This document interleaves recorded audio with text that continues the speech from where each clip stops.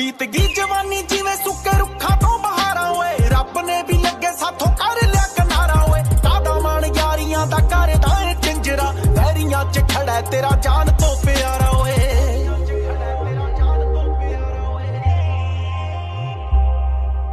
ਉਹਦੇ ਦਿੱਤੇ ਧੋਖਿਆਂ ਨੂੰ ਲਿਖਣ ਜੇ ਲੱਗਾ ਲਿਖ ਨਹੀਂ ਹੁੰਦੇ, ਹੱਸਦੀ ਦਾ ਮੁਖ ਦਿਸਦਾ। ਹੋ